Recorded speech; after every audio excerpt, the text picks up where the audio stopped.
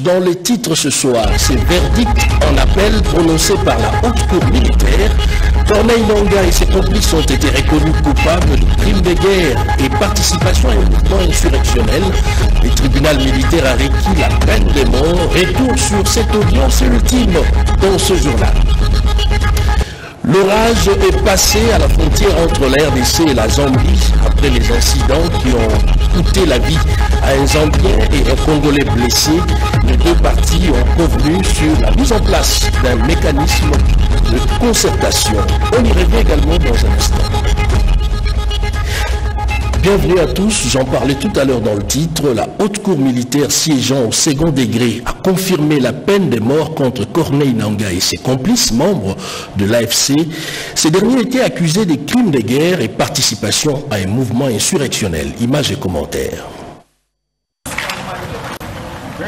Le verdict est tombé. La haute cour militaire siégeant au second degré en matière répressive à la prison militaire d'Endolo a confirmé les jugements rendus en première instance. Corneille Nanga et ses complices, accusés des crimes de guerre et participation à un mouvement insurrectionnel, ont été condamnés à la peine de mort, assortie des confiscations de l'intégralité de leurs biens. Une condamnation par contumace. Les ministres d'État ministre de la Justice, Constant Moutamba, a reconnu qu'il s'agit ici d'une mesure exemplaire qui, selon lui, marque une étape décisive pour restaurer la sécurité et la justice dans le pays. La haute cour militaire a confirmé euh, la condamnation à mort euh, de tous les criminels euh, qui ont été appréhendés aux côtés de M. Corneille Nanga, qui ont décidé de trahir la République et de servir les intérêts euh, du Rwanda. Nous, en tant que ministre de la Justice, nous allons veiller que la peine de mort soit exécutée contre les condamnés, en tout cas les cinq qui euh, étaient appréhendés et sont sur place ici à Kinshasa. Contre M. Corneille Nanga et ses affiliés en fuite. Pour certains wanted, encore dans la nature, des mandats d'arrêt internationaux ont été émis pour les interpeller où qu'ils se trouvent, a insisté les gardes des Sceaux. Et cette question, doit-on lever ou non l'état des sièges ou encore assouplir certaines dispositions? Eh bien, la première ministre Julie Souminois a échangé avec les membres de la mission locale conjointe gouvernement-parlement sur l'état des sièges. Chimène Dondo, Pompo Oumba et Joe Patrick Koukou. Ils viennent tous du terrain dans le province sous état de siège. Nord Kivu et Ituri. Une mission pour écouter la société civile, les élus locaux, les jeunes, les femmes, les humanitaires, afin d'évaluer ces mesures exceptionnelles. Autour de la première ministre Judith Soumina Tuluka, c'est vendredi 6 décembre 2024. La commission mixte gouvernement-parlement a harmonisé le vu. On a eu beaucoup d'éléments sur tous les plans. Je pense que nous avons été suffisamment édifiés pour savoir comment orienter, euh, orienter la gestion euh, de ces deux provinces sur le plan sécuritaire euh, et politique. Il était question maintenant de voir comment harmoniser nos points de vue. Tout reste maintenant entre les mains du chef de l'État qui aura se prononcer par rapport à cette question-là, sur le maintien ou non de l'état de siège. Pour le ministre de la Communication et Médias, porte-parole du gouvernement, Patrick Mouyaya Katimboué, le retour de la paix dans la partie est de la RDC est bien un impératif. À nos populations du Nord Kivu spécialement et de l'Ituri, euh, nous les avons entendus. La première ministre elle-même était sur place. Elle a pris le temps d'écouter toutes les couches. Euh, nous savons tous que l'impératif du retour rapide de la paix c'est sur quoi nous travaillons. Nous avons beaucoup insisté dans nos discussions sur la question humanitaire, sur la question de la sécurité, sur la question euh, d'autres questions liées à certains euh, emprisonnements. Il y a toute une panoplie de décisions et de mesures qui seront prises dans l'objectif de montrer que le gouvernement a non seulement été à l'écoute de nos populations, mais qu'il a surtout exécuté ce qu'ils ont souhaité suivant euh, les, règles et les procédures dont il faut prendre en compte lorsqu'il s'agit, par exemple, d'obtenir la libération de certains prisonniers. Réqualification, maintien ou levé, bientôt. Le suspens sera levé. Une décision attendue du garant de la nation. Et la République démocratique du Congo s'est exprimée à la 23e session de l'Assemblée des États partis au statut de Rome, de la CPI. Le premier vice-président de l'Assemblée nationale, Isaac Jean-Claude Tulumbaï, a conduit la délégation des élus nationaux. Joseph Oscar Mbal. La 23e session de l'Assemblée des États, partie au statut de Rome, de la CPI à la haie, a regroupé plusieurs personnalités venues du monde. La délégation de la République démocratique du Congo a été conduite à ses assises par le premier vice-président de l'Assemblée nationale, le professeur Isaac Jean-Claude Chilumbaï Moussaou. En matière de coopération avec la Cour, nous pouvons euh, être une expérience à, à partager. Après la ratification, nous avons, euh, c'est vrai qu'il n'y a pas une loi en tant que telle de mise en œuvre des statuts de Rome, mais nous avons vidé cette question par euh, des amendements très importants à notre législation. Une session couplée aux événements parallèles organisée par l'Action mondiale des parlementaires, une structure créée en 1978 à Washington aux États-Unis. Du haut de la tribune de la CPI, les chargés des missions du chef de l'État, le professeur Taylor Lubanga, précise. S'agissant de la décision récente prise le 15 octobre 2024 portant réactivation des enquêtes en RDC, la République du Congo voudrait voir le bureau du procureur, avec le soutien de toutes les parties ici présentes, tenir compte de la dégradation de la situation en accélérant les enquêtes. Le Rwanda nous mène une guerre par procuration en se servant des moyens des puissances mafieuses affairistes qui euh, tentent vainement à accéder de manière malhonnête aux richesses de notre pays. Moment indiqué pour le délégué de la République démocratique du Congo à ses assises de porter haut la voix de la RDC sur les crimes de guerre, les crimes d'agression ainsi que les crimes contre l'humanité. Une attention particulière mérite d'être attirée à cet effet. Dola en Zambie a accueilli une réunion d'urgence entre la RDC et la Zambie. Le vice-premier ministre, ministre de l'Intérieur Jacquemin Chabani et celui de la Défense Guy Mwadianvita ont pris part à une réunion mixte pour évoquer justement les sujets liés aux derniers incidents à la frontière qui ont causé mort d'hommes. On fait le point avec Bobo Anad Mokonzi. Suite à l'incident survenu le dimanche 1er décembre 2024 à la frontière de la Zambie et de la République démocratique du Congo, occasionnant un mort du côté zambien et un blessé grave du côté congolais, une réunion en urgence s'est tenue en Dola, en Zambie, entre les délégations de deux pays. La partie congolaise était conduite par le vice-premier ministre, ministre de l'Intérieur, Sécurité, Décentralisation et Affaires coutumières Jacques Chabani, accompagné de son collègue de la Défense nationale, Guy Vita, ainsi que des responsables des services de sécurité et de défense au bout de plus de 8 heures d'échange, la délégation zambienne et congolaise ont souligné que cet incident n'a pas été commandité de part et d'autre. Les deux parties ont décidé de mettre en place une commission d'enquête constituée des experts congolais et zambiens, question d'apporter la lumière sur les circonstances ayant occasionné cet incident bien avant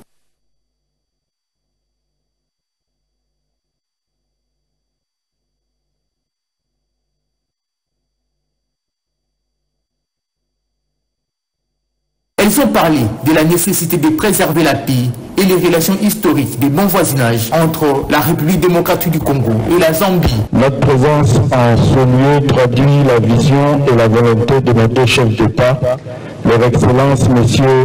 Aikande Ishelama, président de la République de Zambie, et M.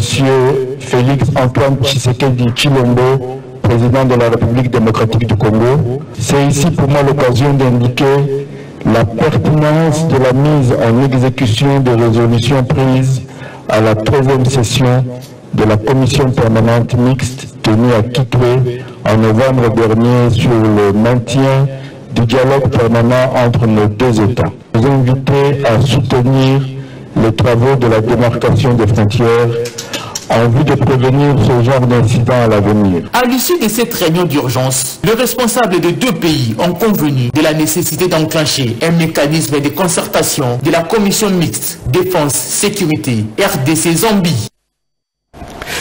Ils ont réussi, grâce au gouvernement de la République, à quitter l'enfer de l'artillerie russe et ukrainienne dans le zone de conflit. Sur ce, il fallait traverser une zone de près de 600 km sous les bombes et détonations. Les Congolais vivant en Ukraine ont réussi finalement à rejoindre notre ambassade à Moscou. Eric Abamba nous en parle dans ses commentaires. Visage dégagé, ces Congolais, une soixantaine au total, en majorité d'étudiants, serrent la main de l'ambassadeur congolais en Russie, Ivan Vangungimbi, avec beaucoup de sourires. Quitter leur pays pour des raisons d'études en Russie, ces Congolais coincés viennent de passer quelques journées sombres, nourries de bombardements et de traumatismes en Russie suite au conflit avec l'Ukraine. Ils sont désormais placés à 600 km de zone de conflit, mis en sécurité dans les meilleures conditions pour leur permettre de retrouver la joie de vivre loin de leur pays. Un repas de rassemblement leur a été offert pour qu'ils trouvent l'occasion de s'exprimer après avoir vécu des nuits de cauchemars. On a crié à l'aide et le pays a réagi. Alors je tenais à remercier premièrement d'abord le président de la République, M. Félix Antoine Chilombo Tshisekedi, qui a vraiment manifesté un sens d'altruisme et qui a voulu répondre à notre appel. Nous en sommes reconnaissants. Là, on est en sécurité avec euh, le monsieur l'ambassadeur et on a reçu tout nos biens et tout, et tout ce qui va avec. Et nous sommes vraiment très contents et nous les remercions infiniment. Une joie immense pour Yvan Vangou qui a salué l'implication du gouvernement congolais pour mettre ses enfants à l'abri de tout danger. En votre nom à tous, je voudrais quand même remercier toutes les autorités de notre pays qui ont consenti des efforts pour trouver une solution à la situation qui est la vôtre. Naturellement, je pense en premier au président de la République. Une aide logistique et des enveloppes ont été aussitôt remises aux étudiants pour leur permettre de mieux poursuivre leurs études en distance. La question sur la prévention de la torture était au cœur de la séance de travail entre le président du Sénat, Jean-Michel Samaloukonde, et une délégation du sous-comité pour la prévention de la torture. Janine Kalenga et Gilles Okiana pour le compte rendu. Reçu par le président du Sénat Jean-Michel Samalkonde Kenge, la délégation du sous-comité pour la prévention de la torture et autres peines ou traitements cruels, inhumains ou dégradants SCPT est venu faire un plaidoyer sur la prévention de tous ces mauvais traitements. Le chef de cette délégation, Ahmed Salomon Diakate, a expliqué que le SCPT était un mécanisme des Nations Unies chargé de la prévention de la torture ou toute autre forme de mauvais traitements qui a commencé ses travaux en février 2007. Et à ces jours, 93 États à travers le monde ont ratifié et adhéré au protocole facultatif se rapportant à la Convention des Nations Unies contre la torture. Ce protocole donne au SCPT le droit de se rendre dans tous ces États pour examiner le traitement des personnes. Le chef de cette délégation a en outre souligné que la démarche de la délégation consiste à accompagner le pays à mettre en place le mécanisme de suivi contre la torture sur le plan légal. D'où cette rencontre avec le président du Sénat par où le projet de loi relatif devra passer après son adoption au Conseil de ministres? Nous sommes là pour montrer effectivement que nous sommes prêts à les accompagner dans toute la procédure et à la fin de la procédure, se mettre en place des mécanismes à les assister avec le fonds OCA, les, la représentation des Nations Unies qui sont là. Notre comité est un comité de prévention de la torture, un comité qui prend en charge les plaintes ou bien des cas au cas. Nous faisons une démarche systémique. On analyse une situation, on essaie de trouver des solutions pour que tout ce qui peut entraîner la torture puisse être vraiment et complètement. Nous sommes en collaboration avec les États, en dialogue avec, en dialogue avec les États, et nous sommes tenus par la confidentialité. Tout ce que nous faisons, se faisons dans la confidentialité avec les États. Le speaker de la Chambre haute du Parlement, Samal Konde, était accompagné dans cette audience par le président de la commission ad hoc, l'honorable Lodi, par ailleurs président de la commission PAJ, ainsi que le directeur adjoint de son cabinet, Valérie Moukassa. La restitution de l'itinérance du chef de l'État en province, les questions liées à l'environnement et celles d'actualité sur l'épidémie d'origine inconnue qui fait des victimes dans le Congo, eh bien, le briefing avec le ministre de la Communication et Médias, la ministre de l'Environnement, mais aussi celui de la Santé est revenu sur toutes ces questions devant la presse. Jacques Kaboba. Lors du briefing presse tenu le jeudi 5 décembre 2024, le ministre de la Communication et Médias, Patrick Mouyayaka Tembwe, a co-animé la rencontre en compagnie du ministre d'État, ministre de l'Environnement et Développement durable, Eve Bazaïba, ainsi que le ministre de la Santé publique, Hygiène et Prévention sociale, Samuel Roger Kamba.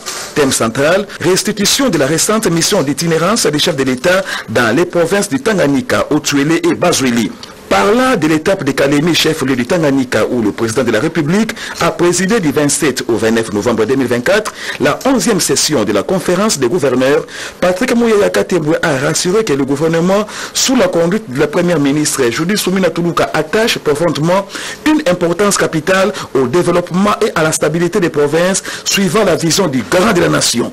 Le programme PDL 145 territoires, aujourd'hui, a dépassé, euh, je pense, euh, le 850 57 ouvrages. Dans les, ouvrages attendus dans le cadre de PEDEL, c'est à peu près 2200, 1200 écoles, je crois plus de 700 centres de santé et 145 bâtiments administratifs. C'est pour la première fois depuis l'indépendance qu'on investit dans tout le coin de la République. En même temps, imaginez le centre de Mutoa qui vous permet de faire des examens de radio à distance, imaginez de l'avoir partout. Le fameux maillage dont parlait le ministre de la Santé aura déjà été fait et c'est dans ça que nous sommes avec la première ministre Judith Souminois. La ministre d'État F. Bazaïba a pour sa part salué l'engagement du chef de l'État Félix Antoine Tshisekedi à poser des actes palpables. Elle n'a pas manqué à apprécier la ronde effectuée tout récemment, insistant sur la nécessité pour les gouverneurs des provinces de prendre leurs responsabilités pour améliorer les failles. L'initiative de l'itinérance prise par le chef de l'État, ça permet de booster la gouvernance au niveau de la base. Il n'a pas suffi seulement pour lui de parler de PDL 145 territoires, mais encore qu'il est tenté de procéder à des tournées. Je souhaiterais vraiment que cette impulsion-là soit faite aussi par les gouverneurs au niveau de tous les territoires.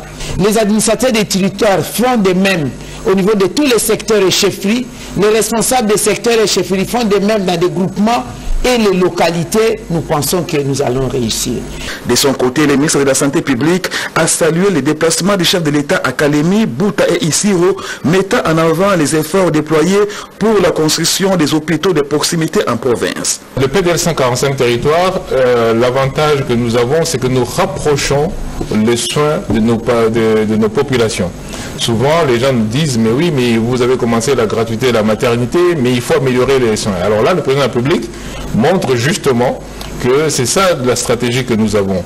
Il y a déjà plus de 276 centres de santé qui sont construits, va permettre à ce que nos populations euh, soient rapprochées euh, de soins de santé de qualité. Le constat est sans équivoque. Au profil presse fait école, cadre idéal d'échange et d'information, très bénéfique et riche d'enseignements, il permet d'élargir les connaissances pour éradiquer l'ignorance.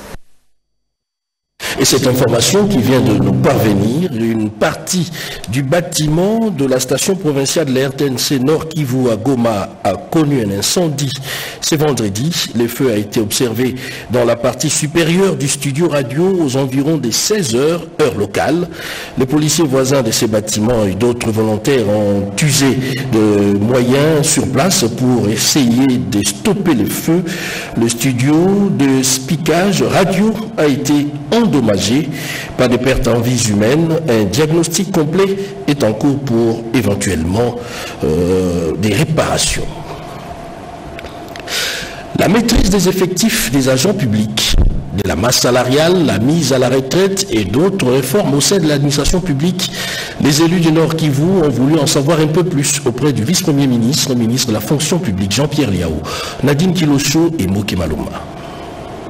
Les efforts du gouvernement visant l'amélioration de la gestion des ressources humaines de l'État dans le cadre de la réforme de l'administration publique ont été au centre de la séance de travail tenue ce jeudi 6 décembre 2024 entre le vice-premier ministre, ministre en charge de la fonction publique Jean-Pierre Liaou et les députés membres du caucus du Nord Kivu. En marge de cette réunion, plusieurs questions en rapport avec la gestion de carrière, la maîtrise des effectifs et de la masse salariale, le processus de la mise à la retraite digne, le rajeunissement qualitatif et compétitif, la mécanisation de non-payés ont été au centre de discussion. Nous avons eu un échange très fructueux où il nous a brossé plusieurs réformes engagées au niveau de son ministère, notamment la maîtrise des effectifs des agents et fonctionnaires de l'État. Nous avons été édifiés parce que c'est ça la question principale qui fait qu'on est défictif au niveau de la fonction publique. Nous avons compris qu'il y a un grand travail qui est en train d'être fait au niveau de son ministère parce qu'aujourd'hui, par exemple, dans notre province, il y a des contrôleurs qui sont à pied d'œuvre.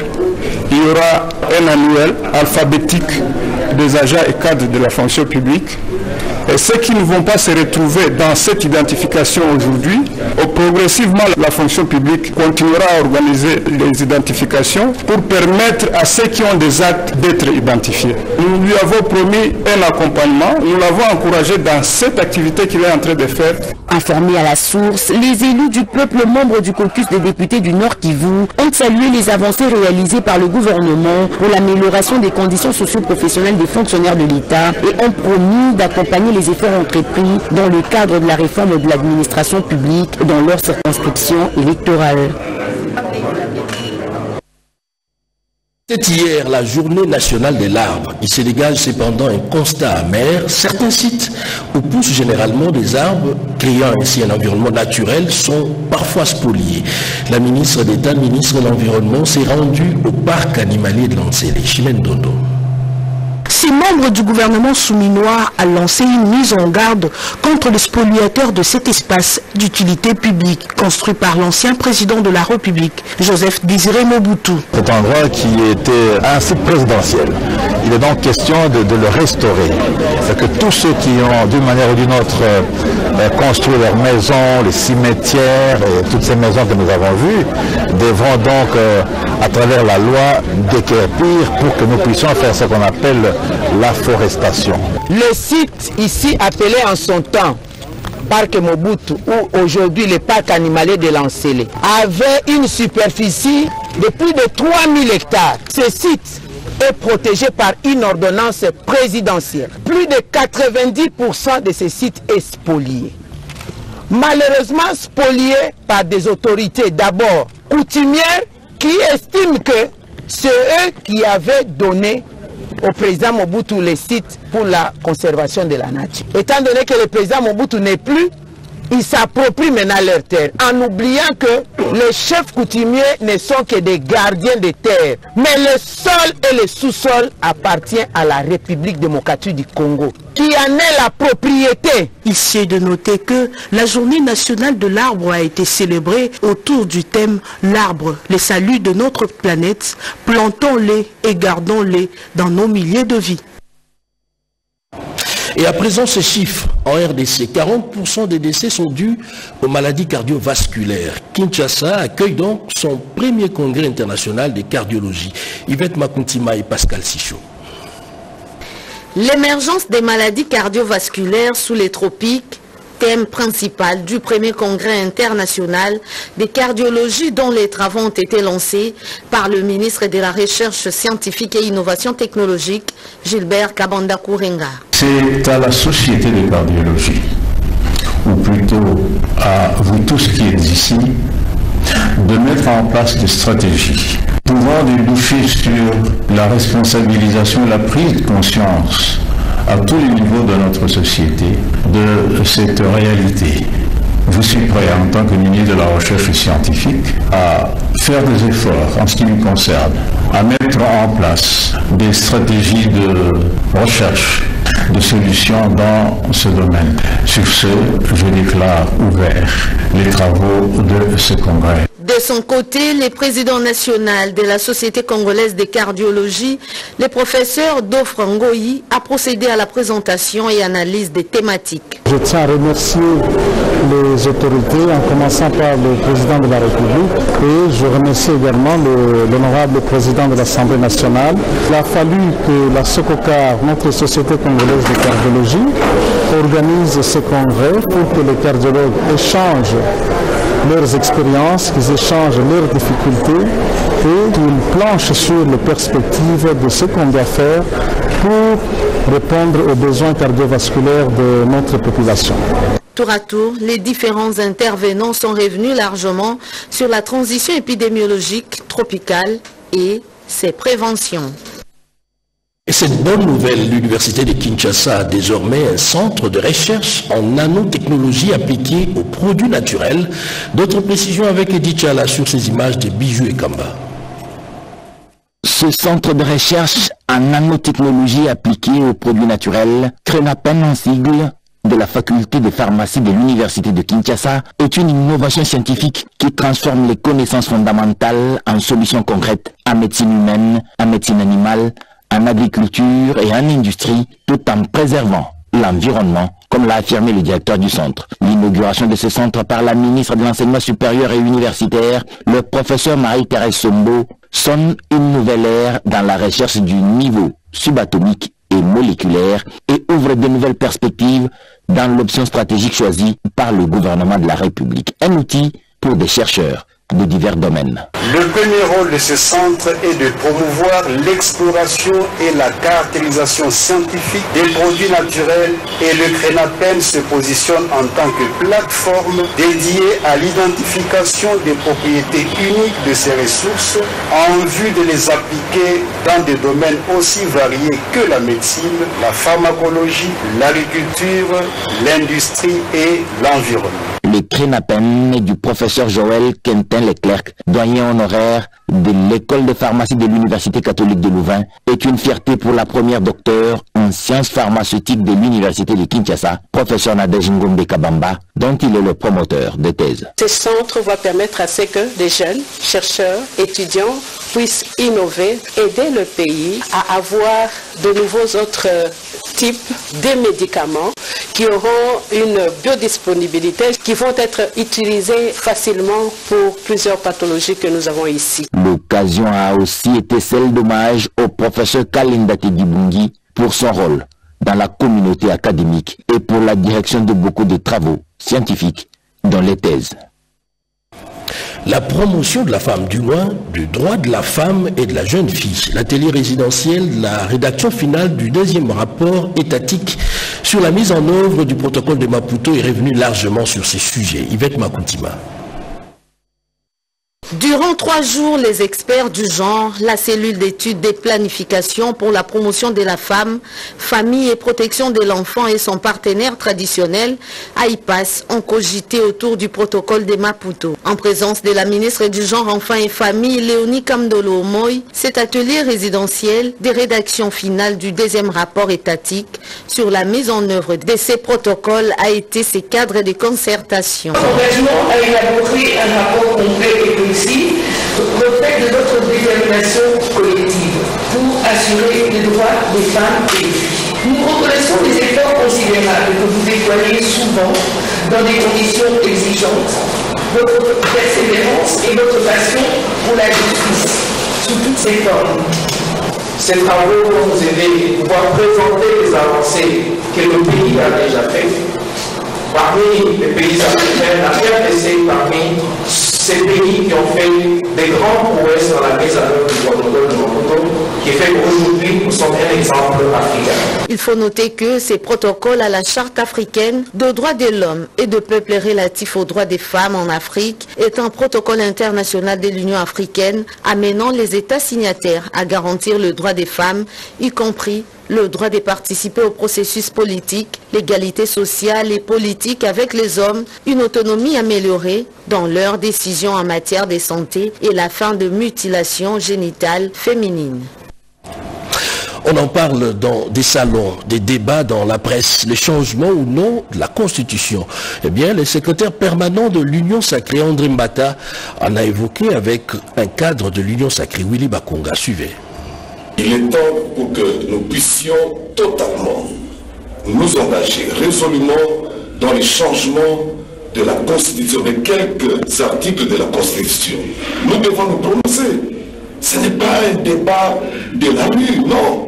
C'est un débat important. Il faut que les Congolais s'unissent aujourd'hui comme un seul homme pour dire non à tous les vendeurs d'illusions qui veulent faire croire à la population que Fachi Beton veut s'éterniser au pouvoir. Non, il n'en est pas question. Il est question aujourd'hui de revoir quelques articles pour les adapter à notre situation, à nos réalités. Le Congo a ses réalités. Après beaucoup de temps de la politique, nous devons quand même faire une évaluation et dire non à cet article 1, 2, 3, 4, 5 et essayer de voir un peu dans une commission, le président de la République d'abord a raison, il a dit il va constituer une commission qui va travailler, qui va, n'est-ce pas, voir euh, comment nous pouvons améliorer, n'est-ce pas, euh, euh, ces articles-là. Je tiens à le féliciter parce que si nous sommes de bons côté de l'histoire, la maison reste ouverte et je suis heureux qu'il s'engage résolument derrière la vision de son excellent Félix Antoine Tshisekedi Chilombo, président de la République. Et voilà, c'est la fin de ce journal de 20 heures réalisé par Yolande Voka et supervisé par Souzingoy. Serge Merlin-Matin revient à 23 heures pour la suite de l'actualité. Excellente soirée chez vous et bon début de week-end. Et moi, je vous retrouve demain à la même heure, à 20 heures. Bonsoir.